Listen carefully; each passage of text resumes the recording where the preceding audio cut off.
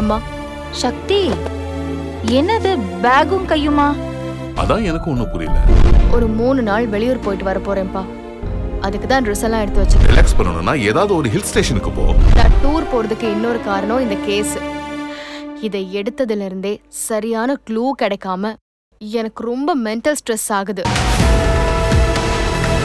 சக்தி IPS திங்கள் முதல் வெள்ளி வரை மாலை ஆறு முப்பதுக்கு உங்கள் டிடி தமிழில்.